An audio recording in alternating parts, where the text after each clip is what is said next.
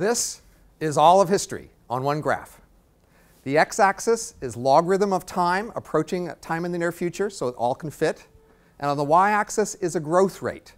For the human era, it shows the growth of foragers, then farmers, and then industry. And before that, it shows animals and genes. And the key pattern to see here is that over entire history is well summarized by exponential growth modes, where the y-axis here is the growth rate again, and during each era, it grew very steadily until all of a sudden, within less than a previous doubling time, the growth rate increased by a factor of 50 or more. So human foragers doubled roughly every quarter million years. And then around 10,000 years ago, all of a sudden farmers started doubling every 1,000 years. And then around two or 300 years ago, industry started doubling every 15 years. If that pattern were to continue, then sometime roughly in the next century, we would see a transition that took five years, and within that time, the economy would go from doubling every 15 years to doubling every month or faster. Uh, and that would all be over in a year or two. And then something else would happen. That would be the trajectory here. What could possibly cause such an enormous change? One of the things people have talked about as a big potential change in the future over the next century or so are smart robots, artificial intelligence, machines that can do most tasks as well as people. And there are many ways that that might happen. I'm going to focus on one of them called brain emulation. The idea is to port the software that already exists in our brains into computers. So for that we need three things. We need lots of fast, cheap parallel computers. We don't have yet. We also don't have ways to scan the brain in fine enough spatial and chemical detail to see exactly what's where. And then third, we need computer models of how each type of brain cell works, taking input signals, internal state changes, and then output signals. And if those models of the brain cells are good enough, and the scan is good enough to figure out what type each brain cell is, then the entire model should be good enough. And a good enough model, you could cook it up with hands, eyes, mouth, ears, and you could talk to it, it would talk back, it would act just like the original person would have in the same situation. It would love, it would hate, it would be creative, etc. It would be a complete substitute for human workers because it would be, in essence, a human mind in a machine. Now, many people over the years have talked about this. This has been a staple of science fiction and futurism for decades. People have talked about it a lot, and when they talk about it, the conversation usually goes in these directions. Is it really possible to make a machine that substitutes for a human? Could flesh and blood really be emulated by a machine? If you made a machine like this, would it be conscious? If you made a, an emulation of me, is it me or is it someone else? Those are all fascinating questions that I'm going to ignore. I'm going to focus on the question I think has been neglected, which is what happens if we actually make these things? How does the world change? This is a map of all of academia connected by citations, i.e. which fields cite which how often. And in my checkered history, I have done a wide range of fields. That's not rewarded by academia, but it's good here because I'm going to be able to use this to uh, apply all I know about many fields to this scenario. So it'll let me pick the low-hanging fruit. I'm going to go area by area. When things are easy, I'll draw the easy conclusions. When they get hard, I'll go on to the next one.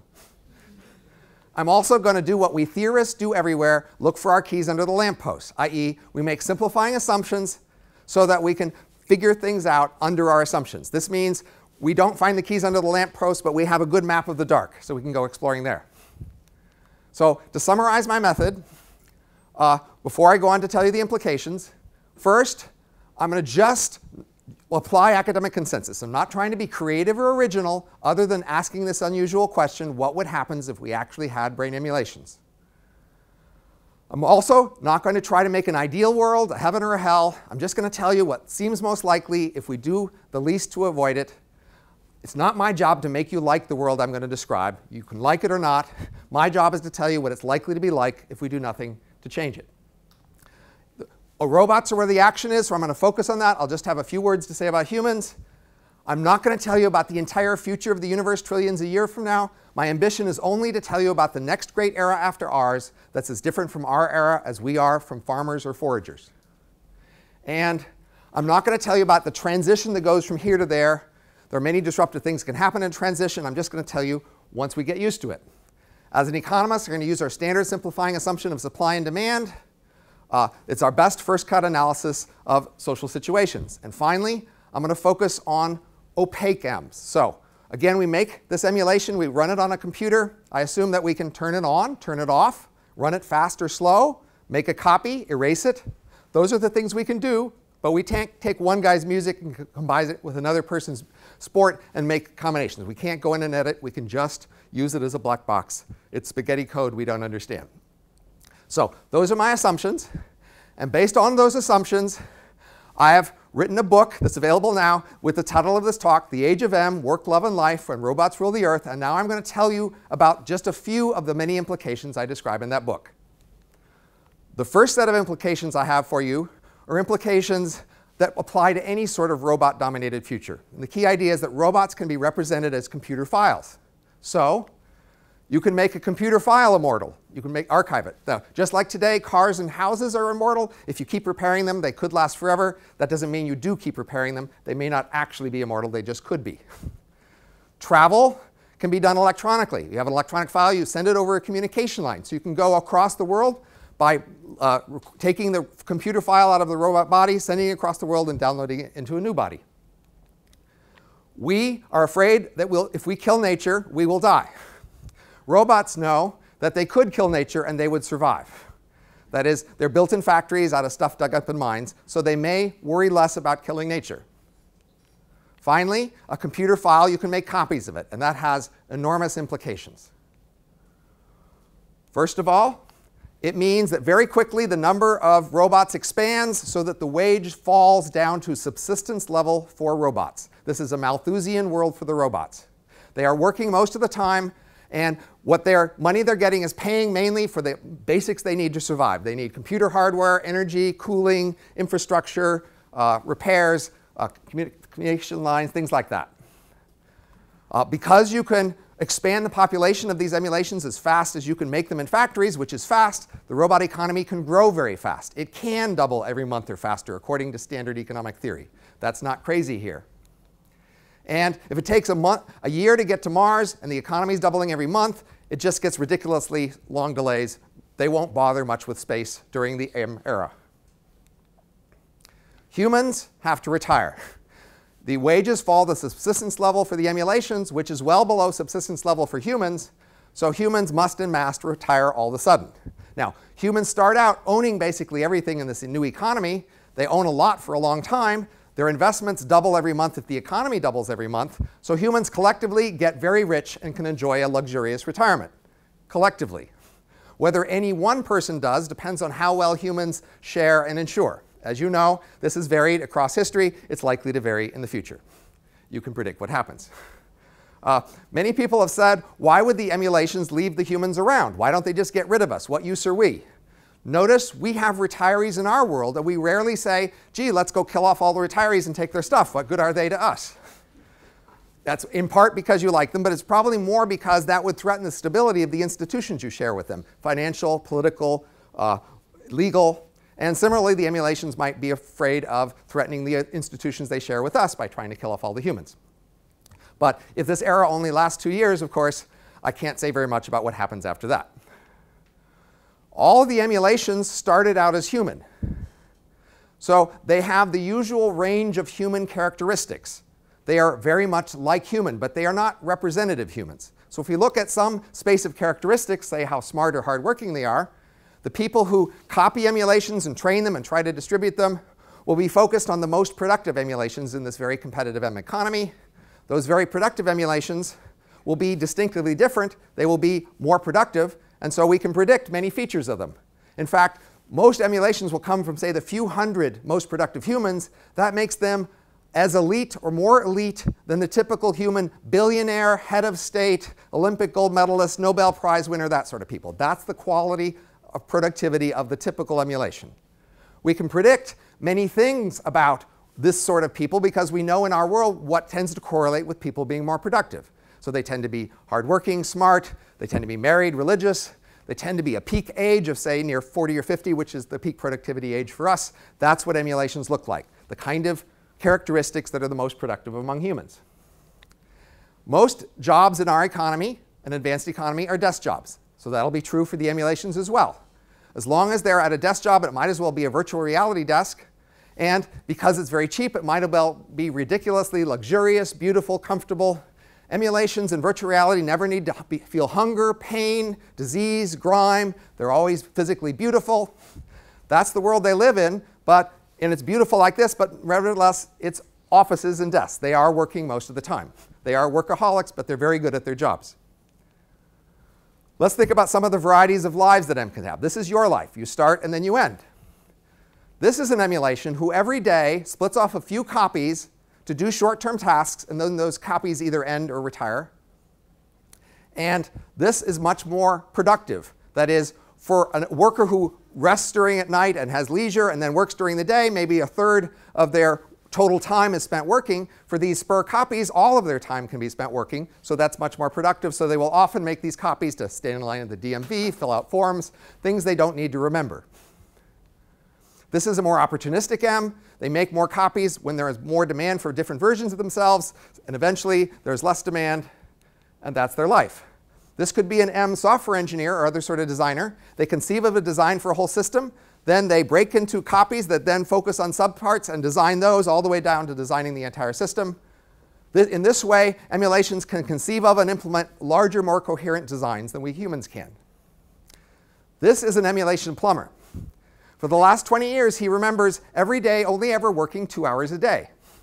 Every day, when he was ready for work, a thousand copies were made who worked for two hours. All but one were erased, and the last copy went on to the next day. So objectively, he's working 99% of the time. Subjectively, he remembers a life of leisure. So they're working very hard, but they don't have to see it that way. Now, many systems that we know of, including the human mind, have the feature that as they get older and more experienced and adapted to some circumstances, they become harder to readapt to new circumstances. This is the phenomenon of software rot. If any of you write software, large software systems become fragile, and you have to write them again from scratch. Human minds start out with fluid intelligence. And eventually, we have crystallized intelligence. So because of this, emulations have a limited career length before they must retire. Even though they can be physically immortal, they cannot last productively forever. And so there must be new copies of them that are made from their original young version who are trained in new ways all the time. So Em's would always see some older versions of themselves around and some younger versions doing similar things, and they would have a very good idea what their future is like. This again is you. Now, this could be you who, at the beginning of a party, took a drug, which means you will not remember this party the next day or ever after. So that means your memories are taken from what you were at the beginning of the party. Now, at the end of this party, will you, ask, will you say to yourself, I'm about to die, this is terrible, and be very stressed about it, and ask yourself why you ever got into this? Maybe not. If you would find that acceptable and not death, maybe you could see why most emulations would also find this acceptable. This is the scenario of splitting off a spur copy who stands in line at the DMV, does their task, and then ends. From the emulation's point of view, they can see this as part of me that I don't remember. They could, of course, see it another way, but the emulation world will select for emulations that see it this way. This is the productive way to see things, and the emulation world is very competitive. It selects for the productive attitudes. So this is how they'll see it. This is OK from their point of view. Now, even if it's OK for me to end, because that's part of me, if I interact with other people around me, and then I don't remember later what I said to them, that could bug them. Uh, so it's more convenient if Em's are created together as a team copy. Oh, you copy a whole team, and that whole team works together, and then that whole team gets erased or retires. And then they can deal with these things more smoothly. Here's another uh, scenario that Em's can do that we can't. So in our world, it's hard to meet celebrities. They have limited time. It's hard to meet the president, for example. But for emulations, it's easy to meet celebrities. They spin off a copy to meet whoever they want to meet with, and then the, that copy can end after the meeting. So the hard thing about Em celebrities is to get them to remember your meeting, but it's easy to meet them. We can use this in order to trust Em leaders. So for example, today if somebody says, we, your leader says we must invade Iraq, and you say, gee, why must we invade Iraq? And they might say, it's a state secret. We can't tell you. You'll just have to trust me. You're not sure whether you can trust them. But for Em's, what they can do is you can split off a copy of yourself, and the leader splits off a copy of themselves. They both go into the safe together. And then inside the safe, the leader can explain all of their secret reasons. And then at the end of this meeting, all that happens is one bit comes out. You decide if you were convinced by the argument. And now your original hears, was I or was I not convinced by the argument that, in fact, we must invade Iraq or whatever she was sold. So this will allow Em's to more selectively share secrets. You can trust your leaders more because a copy of yourself a few seconds ago decided that, in fact, they were trustworthy, even though they can't tell you their reasons. Now, emulations can run at a number of different speeds. And this means uh, a lot for the emulation world. It means they, they change culture in many ways. So uh, because the brain is very parallel, this means that if you add more parallel hardware, you, you can run faster. If you add twice as much hardware, which costs twice as much, you can run twice as fast, or half as much hardware and run half as fast. So over a very wide range, emulations can pay more to run faster or pay less to run slower. So initially, the most emulations run at human speed so they interact with humans. But eventually, I estimate roughly the typical emulation will run a thousand times human speed, which means their world is actually more stable to them than your world is to you. And emulations can run up all the way up to a million times human speed. And you'll notice that they'll probably clump into classes so that they can interact with others at the same speed for the same reason we clump into cities.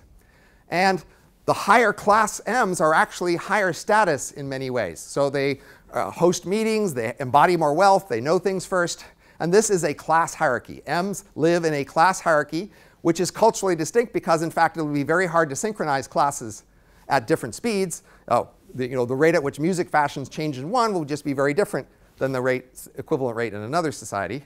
And so it's a world of class hierarchy where the high class really are worth more, they embody more wealth. And uh, when you retire, you probably retire to a slower speed because that's a lot cheaper. So all those things that are ending, they could just retire to a slower speed. But slower speed Em's are more like ghosts in many ways, especially retired Em's. so in our culture, the idea of a ghost is something that's floating around. It's available to talk to, but it usually, if you manage to talk to it, it's not really very well informed. It's not, can't influence things very much. It's not very interesting to talk to. It doesn't matter very much. And uh, it, it, hardly changes much over a long time. It remembers old things. It's obsessed with old ways. It, and those what emulation retirees are like. So basically, Em's, uh, working Em's have this cloud of uh, retirees around them they could talk to who are very ghostly like, that they don't want to talk to, just like we wouldn't really want to talk to ghosts most of the time if we could either. Um, and there are many more things to find in the book. Thank you very much.